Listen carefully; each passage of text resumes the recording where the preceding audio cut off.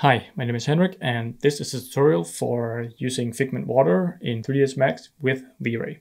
Figment Water is a collection of animated displacement maps that makes it super easy and super fast to add animated water to your 3D scenes. The textures are in EXR and PNG format, so these should work with any 3D application you can think of. If you want to test it out for yourself, there's a sample you can download for free, with the only limitation being that it's for personal use only and it's in quarter resolution.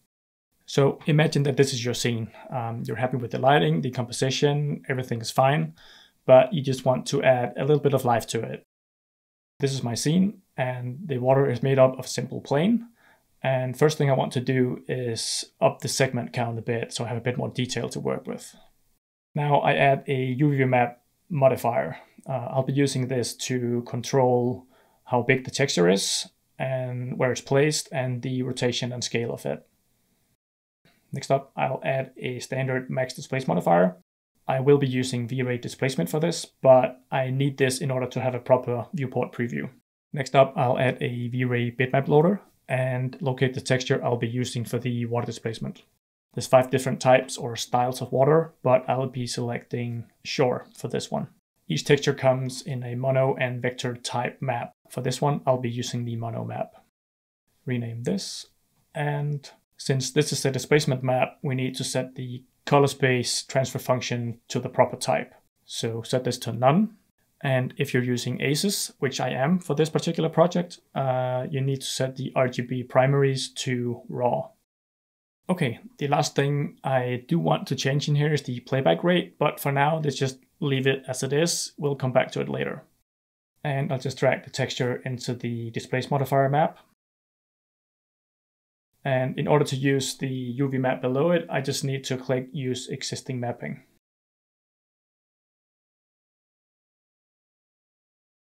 And now let's just up the strength. And here we go. And now, in order for this to not just be pushed upward, uh, but be centered, so it pushes both up and down, we just need to click Luminance Center. This way the texture will be balanced at the gray point in the middle, meaning that everything that's white in the texture will be moved upwards and everything that's black will be moved downwards. And then we hit play and there we go. We have animated water. There's still some things I want to change with this. First of all, I want the direction to be coming from the far end towards us. And I can just fix that by rotating the gizmo There we go. One of the powerful things about having this as a texture is that it's very intuitive and, and super easy to just scale it, move it, uh, rotate it, uh, and you get instant visual feedback. Um, and you can play it back immediately and see and see exactly what you're gonna get. I think this looks good, but the water is moving a bit too slowly for my taste. And this means I can just open up the material editor and then change the playback rate for the texture to 2. And here we go. Double the speed, looks more realistic, looks more natural. And if you want it to move even faster, you can change it from 2 to 3. This is something I suggest you just play around with uh, depending on your scene and, and what you need. I'm going to leave it here in terms of animation and move on to setting up the V-Ray displacement modifier for final render. So I'll just drag the same map into the displacement slot. And I'll set the amount to the same values I had in the 3ds Max displace modifier. And the shift value here basically controls whether the texture will be displaced only upward or both up and down. So if the displacement value is set to 4 and you want it to displace from the middle up and down, you need to set the shift value to minus 2 you can think of this like the luminance center of the max displacement modifier. And I'll just put 2 in the edge length to make sure I have all the detail I need.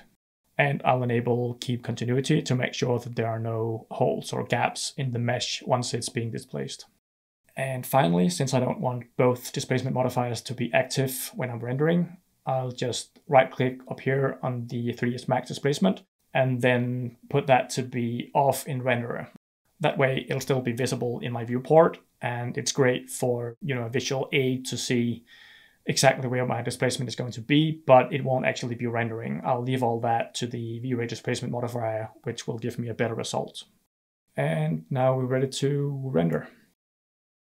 And this is the final result.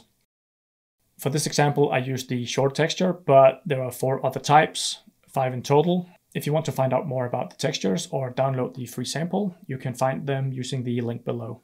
I hope you enjoyed this quick tutorial and thanks for watching.